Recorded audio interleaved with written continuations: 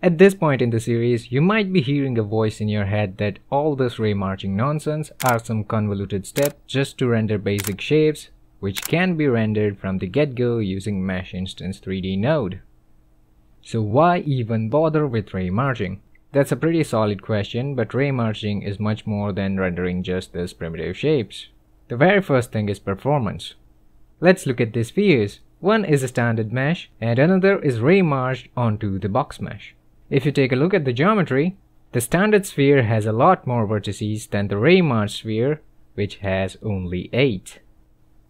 And if I be a bit more clever, I can have a lot of spheres by bending and folding the space with virtually no extra performance penalty. We can also displace our ray marched shapes. Now you could argue that you can do the same thing by a simple vertex displacement shader. Yes, you are right, but just look at this example. Here the right side flag mesh is using a vertex displacement shader, left flag is using ray marching. And for vertex displacement, we need extra geometry to make it work. Also, I have to be very careful when tweaking the parameters. If I try to go a bit extreme, I will get this blocky result, because my flag mesh doesn't have very detailed geometry. However, my ray march flag doesn't have such limitations and it is still using only 8 vertices. I can even create a more complex shape using so-called union, intersection, and boolean operations. And there is much more. So let me show you how we can unleash the true power of the ray marching using these operators. But before we get started, I want to say thank you to Arthur for his awesome explanation about my matrix multiplication conundrum from the previous episode. So Arthur, you're breathtaking. Okay, so my actual box mesh here is 5 meters wide in all directions and I'm using the shader from the last episode which is only rendering the cube currently. Now we already know that we can move our shape by subtracting a vector from our point P. Let me just make my cube ping pong left and right.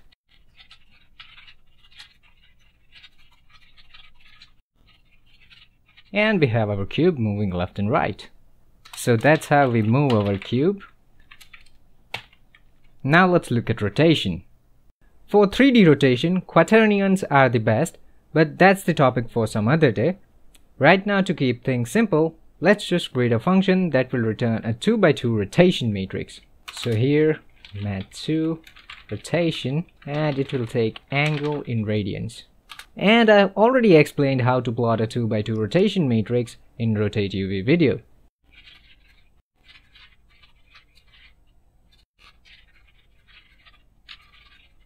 Then in our SDF function, let's say I want to rotate my shape around y-axis.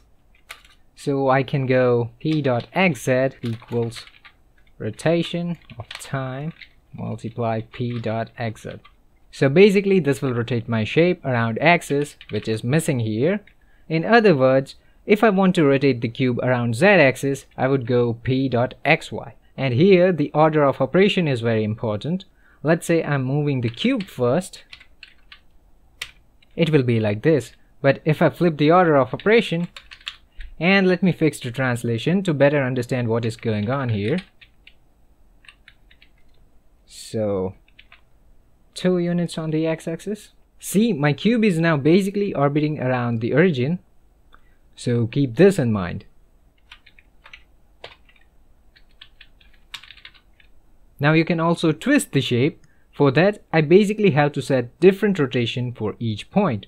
So first, instead of time, let's put one here. So right now I'm setting the same rotation for every point, but I can change that. Let's say I want to change the rotation based on height, so I will simply go 1 into p dot y. And I can also determine where this twisting effect should start using smooth step. So my py is 0 at the origin, and for cube, it goes from minus 0.5 to 0.5. So I can wrap my py in smooth step. And I don't want to twist the cube for the bottom half, so 0 and 1 and I have an entire video about smooth step so if you don't understand what is going on definitely check that out okay so that's all for rotation let's check out scale okay now it's definitely not very smart of me to scale our box because I can literally scale the box in each axis using this half size parameter. So let's render a sphere instead. And for now let me comment the rotation code.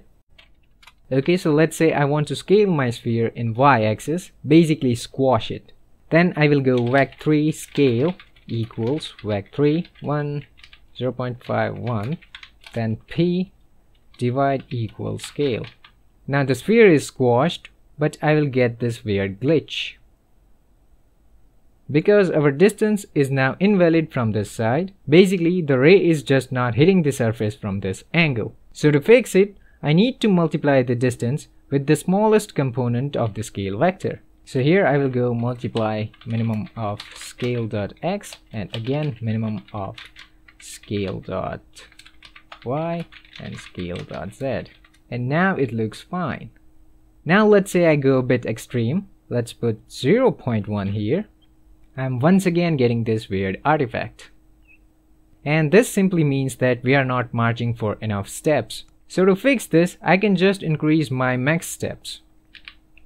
And that will fix that. Also keep in mind that you should keep max step and max distance as low as possible and surface distance as high as you can get away with in your shaders for the performance reasons. Also don't put 0 in any of the component of the scale vector because then you will run into divide by 0 error. Now let me render the box once again. Set the scale to 2.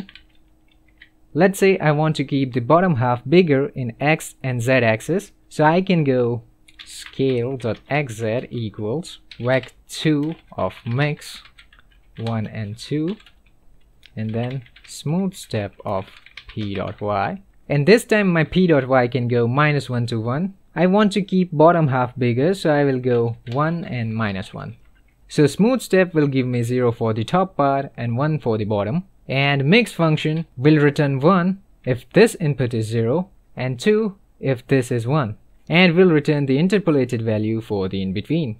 Now I can see some screw up going on around here.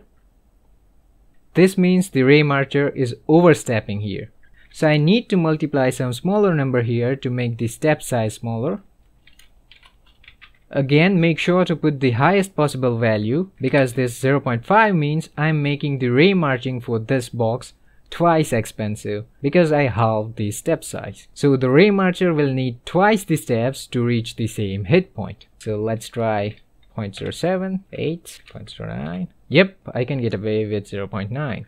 Okay, now here I can easily control at which point the scaling will happen by tweaking the smooth step. I can also control the scale itself by tweaking the mix function. So that's all for scaling. Let's check out union. So union basically means if you have two shapes, simply draw both of them. So let me first render a sphere Let's move the sphere 1 meter right side. So P minus equals vec3 of 1, 0, 0. And now I have actually modified my point P. So if I draw another shape with it, it will also have this translation. So it is a good idea to use separate variables for each shape. So here instead of P, I will go vec3 SP equals P minus vec3 and use SP here. Let's draw another shape a box this time, which is 1 meter left side. And now to render both shapes, I can simply use min function. So d equals minimum of sphere and box. Now you can see this sharp line here. It can be smoothed out using smooth min function. Smooth min function is not readily available in Godot, but it is available in ShaderLib version 2.2.2. So make sure to download that. So to use smooth min, First, I need to include its shader include file in my shader. Hash include and the path of our shader include file. Then instead of min, we will use smooth min. And it has a third input parameter for smoothing. Let's try 0 0.1, 0 0.2 maybe. And that is union. Let's check out intersection. So intersection means only render the overlap part of the two shapes.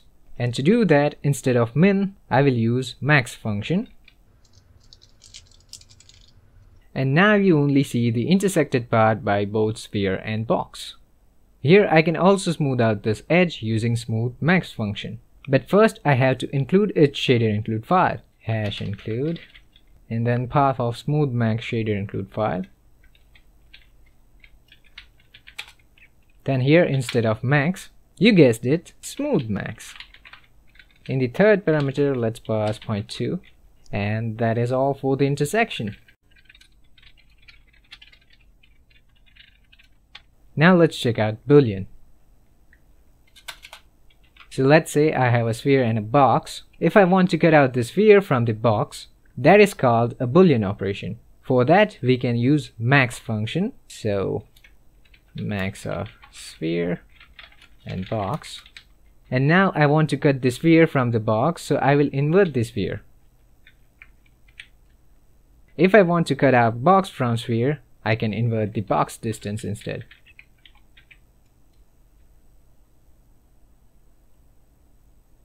I can also use smooth max function to smooth out the edges.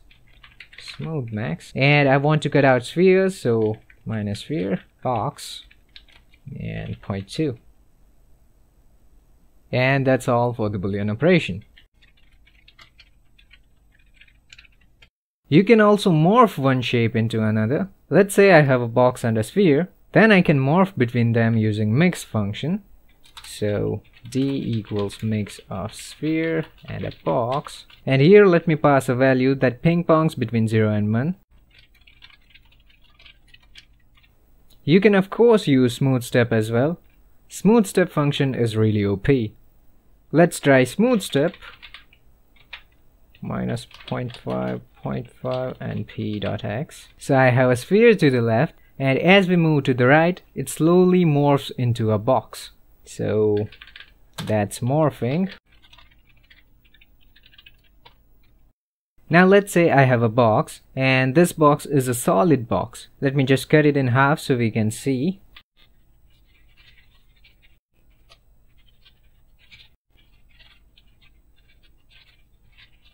So basically I was trying to say that this box is solid even from the inside and I can make it into a hollow shape. You already know from the previous episode about exterior and interior distances, so our SDBox function returns positive distance for the surface and negative for the inside, so I can simply wrap my SDBox function in absolute function.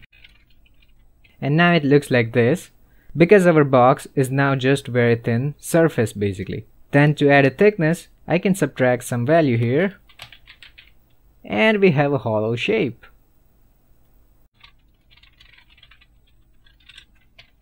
Similarly, I can also displace the shape. Let's say I have a box.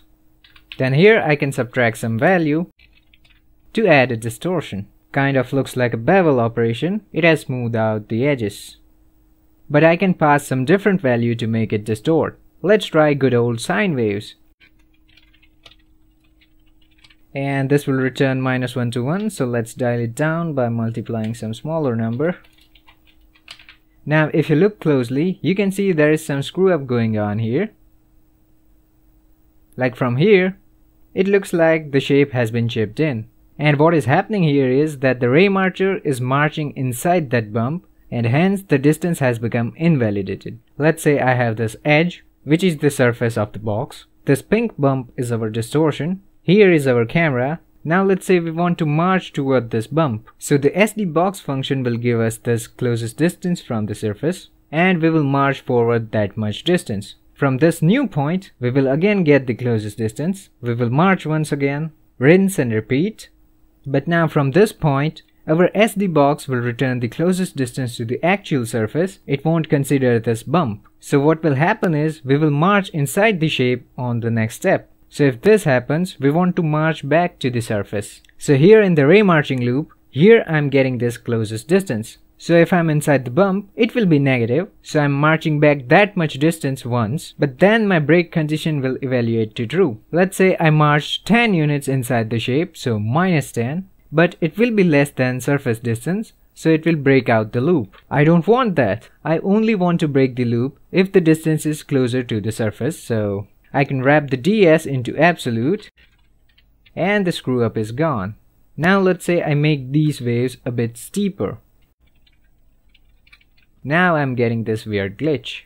And what is happening here is, now my ray marcher is overstepping these waves. So once again we have the box edge, our distortion bump and the camera. We will get the distance and march forward.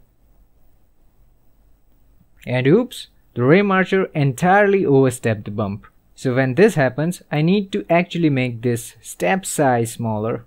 We've already seen this issue in the scaling, but now you have a better idea. So to make this step size smaller, I have to multiply some smaller number to this entire thing. Once again, try to keep this number as big as possible, so 0.7, 0.8, nope, let's keep it 0.7, and that's distortion. You can also mirror the shapes. Let's say I have this rotated and scaled box once again. And I want to mirror this to the left side so I can go p dot x equals absolute of p dot x. And we have mirrored shape. Let me move it a bit to the right side so you can see better. And we have two shapes. And the cool thing is the second shape is almost entirely free. Not completely because our ray marcher still has to march to that but that's relatively cheap. You can also mirror in y-axis. Here instead of p.x, simply go xy. But this is only helpful if I need to mirror x, y or z axis. Let's say I want to mirror around some arbitrary angle. For that I can go vec3 plane normal equals vec3 of 0, 1, 0 and normalize that. Think of this plane normal as the actual normal of the plane mesh. So currently this is pointing up, so the object will be mirrored on xz plane. Then I can go p minus equals 2 into plane normal into max of 0 and dot product of p and plane normal. So this max is reflecting the bottom side at the top. If I use min, it will reflect the top side in the bottom. Now let's say I want to mirror around 45 degrees, so I will pass 110 in the plane normal. So basically this part is reflecting here. And this is all modeling techniques, so with this you can model quite a bit using just maths. So here is a homework for you, I mean a fun little challenge. Try to create this Pokeball using all these techniques. It's not very complicated, it's easy enough. Once done, see if you can animate it. And that's pretty much the video. If you have any questions, post them in the comments. If you enjoyed this video, chances are high that you might enjoy my other videos as well. So do check them out. That's it from me, and I will see you guys in the next one.